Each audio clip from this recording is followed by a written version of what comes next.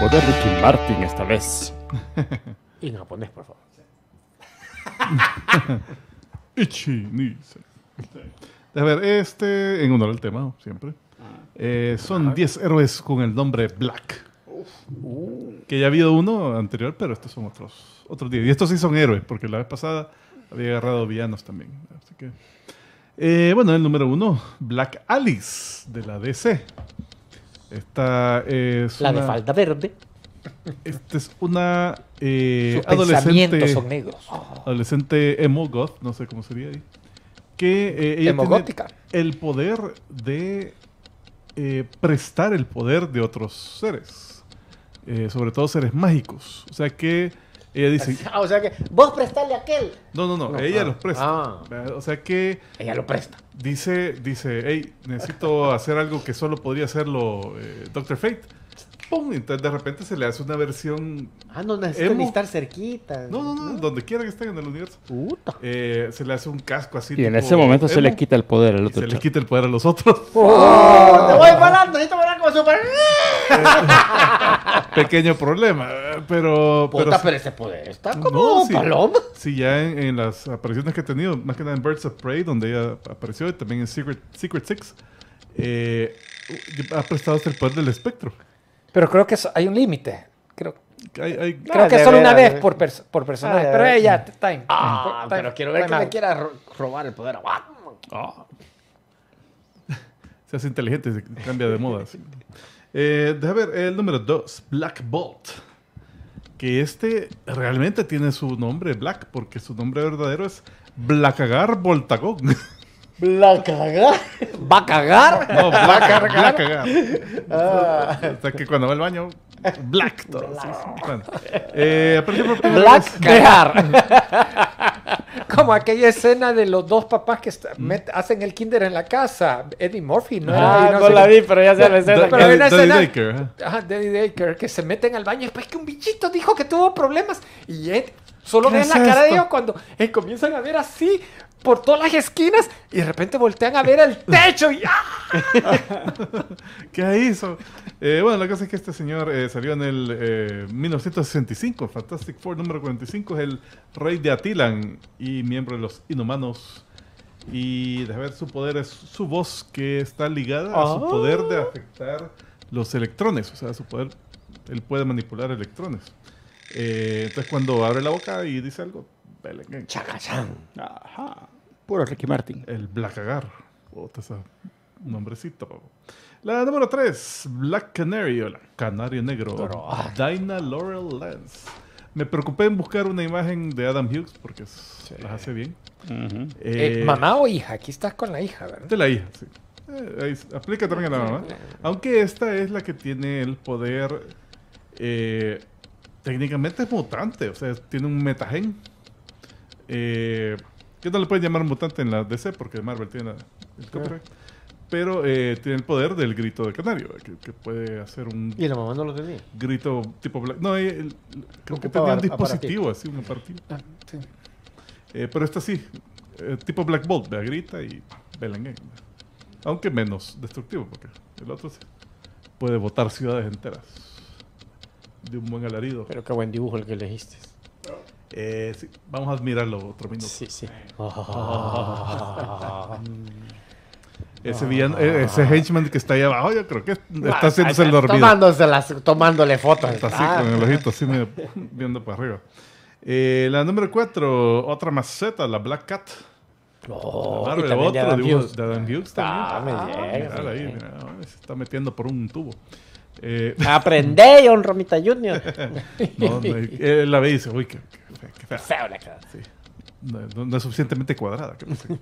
Eh, ver, esta es la hija de Walter Hardy, que era un, un ladrón a nivel ¿Y vos crees que ese antifaz de verdad le ayude a, Yo no a la esconderla? reconozco. Yo no la reconozco. Es que también le ve la cara. Le va la, cara. la cara está bien bonita también, pero. también, pero no. Vea. Entonces ella tiene... Esas chichas las conozco. Se, se pone una camiseta pegada y la va... ¡Ay, para Black Canary! No, no, La- la la Black el disfraz es que se las pone hasta el cuello, parece monjitas. Eh, la cosa es que ella eh, tiene el poder de afectar campos de probabilidad. O sea que hace mala suerte para otra gente, que es un poder que le había dado Kingpin, pero que hasta ahorita casi que me entero que tenía ese poder, porque yo sabía que lo tenía, pero en todo lo que, todas las apariciones de, que No he leído de ella, Tienen años de no usarla. no he visto que lo use.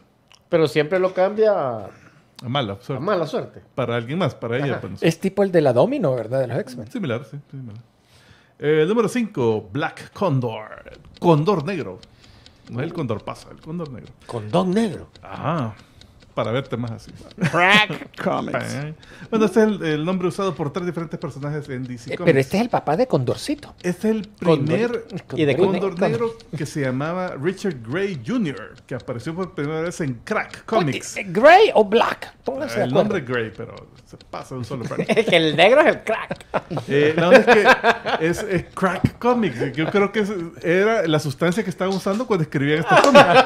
Porque el origen de este tipo es de que se va con, una- con sus papás arqueólogos al Tíbet. eh, se mueren ahí en accidente. Congelados. Y O de calor. lo cría un cóndor.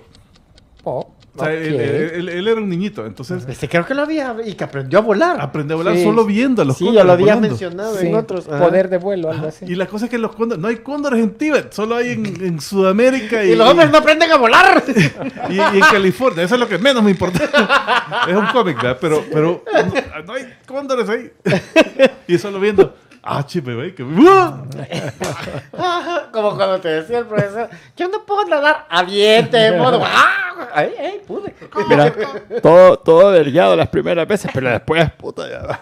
Caía con estilo, como. Eh, Era como la caricatura del, del pato Lucas, donde, donde le ponían a poner un huevo Y de oro pude el huevo.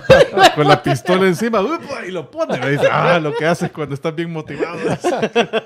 Bueno, a Omar le dijeron, aterriza el avión. Y no, no, voy a aterrizar. ¿Dónde están los frenos de aire? Y esto tiene bolsa de aire. Paracaídas. Que no Eh, venía usted de pantalón blanco. Ahora es café. Eh, número 6, Black Hawk. Este es de la DC también. eh, primera aparición. en Pero 1900. pero de trajecito yo lo he visto. Una masita. También es que, es que él tenía su, escuadrón, Ah. que era el, el escuadrón Black Hawk. y Pero estaba también- la Lady Black Hawk. Que era la Y también madrina. con faldita. Eh, sí, sí. Con, el todos- hombre con- Era, era, uniforme era dijimos. Solo que progresivo a- a todos los, hombres llevaban pantalón. A ella se le olvidaron darse. Gracias a Dios. eh, olvidar, entre comillas. Entonces, esto salió en 1941. Eh, y en su apogeo, en esas épocas, vendían más que cualquier otro cómic, excepto Superman. O sea, eran súper populares en su época. Hoy ya, le- ya no vale verga. Y eso Eh, que mira, entre las caras que están ahí no está la masita. eh, no, creo que salió hasta después. Ahí, ahí bajó Mira, la popularidad. Esta portada es bastante peculiar porque, a pesar que es en la época de los 40, donde los estereotipos japoneses eran malísimos, aquí los dibujan bastante como persona. Sí. Pero al mismo tiempo tienen al compañero de ellos, uno- Es el un, segundo de arriba para un abajo. chinito que es una caricatura china raci- racista, pero puta. Bueno, eh, sé que ya pasó el minuto, pero solo tengo que contar que su, su grito de batalla era "Ja, ja, ja, ja, ja". No. Ay, Dios mío. y, y era- y eran los más populares de su época. bueno, el número 7, Black Knight. El, el- el Caballero Ah, ¿de Negro. qué hablamos? ¿De qué Caballero hablamos? Negro.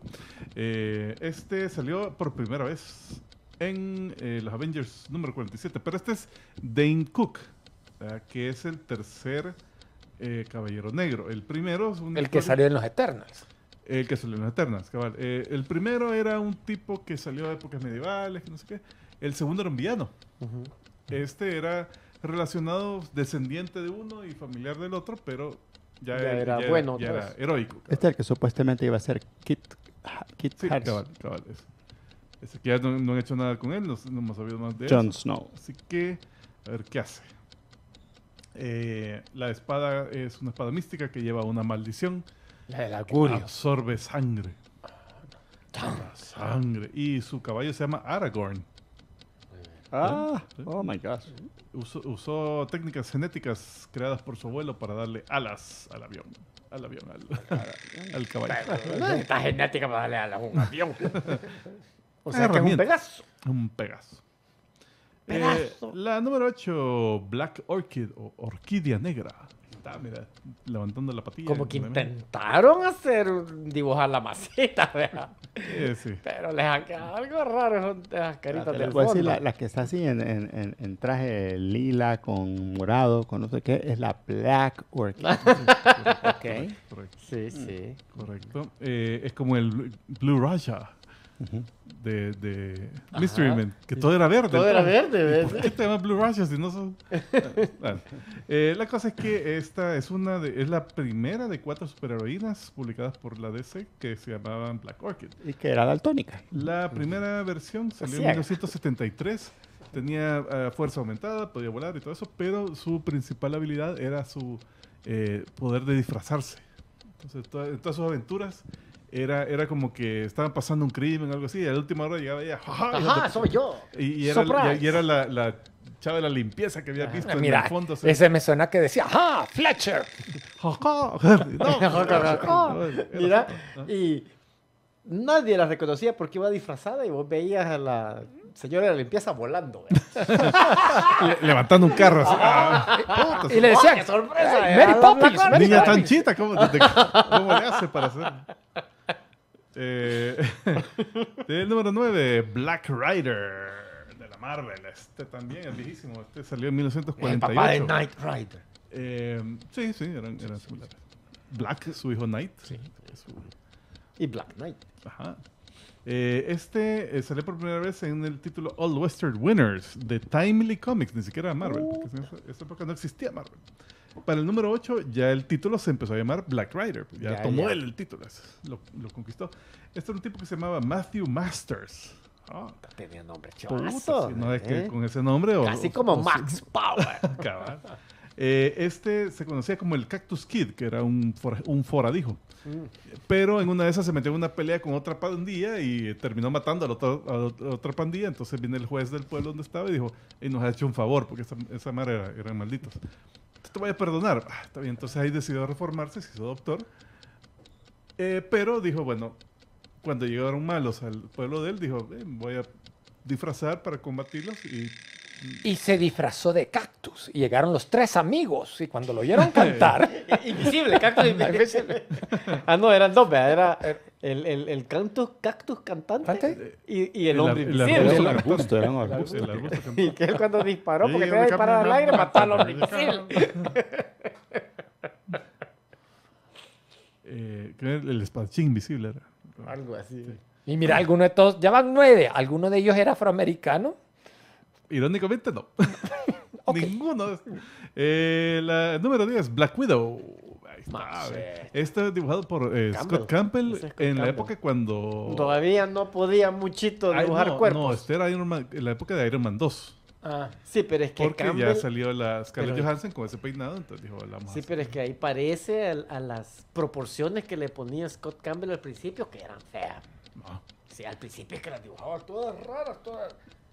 Ya Mira, después, yo- para la época de Gen 13, ya empezó a No, dibujar. es que esto es mucho después de Gente. Por eso te digo, es dibujo No, nuevo, pero parece como las como los No, viejos. no, se parece un montón a cuando dibujaba Danger Girl. Los, los Que- con la dibujos- cintura súper delgada. Es que fíjate que ahorita Busca las los- anteriores los dibujos actuales son bien secas, o sea, las hace así. Ya te lo puedo palito. Bueno, la cosa es que esta salió por primera vez en Tales of Suspense número 52 en 1964. Era un antagonista de Iron Man que eh, desertó a los Estados Unidos y se convirtió en agente de S.H.I.E.L.D. Eh, su primera aparición es- era, era una tipa vestida de negro con un velo en la cabeza, era una viuda. Pero después le cambiaron al traje, un traje gris, un leotardo pegadito. Ahí tenía pelo negro en su primera aparición. El pelirrojo fue después. Era parte de eso. Disfraz.